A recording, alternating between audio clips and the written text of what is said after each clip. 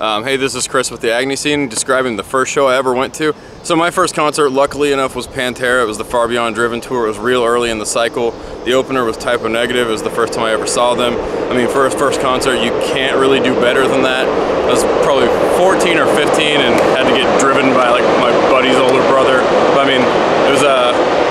shows that really, like, people say it all the time, but it, it's a life changing kind of show. I mean, there was nothing like it. I think I got kicked in the head with boots and left half deaf, and it was probably the best night of my life, and I couldn't stop talking about it. So it's definitely a memorable one. It was a great one.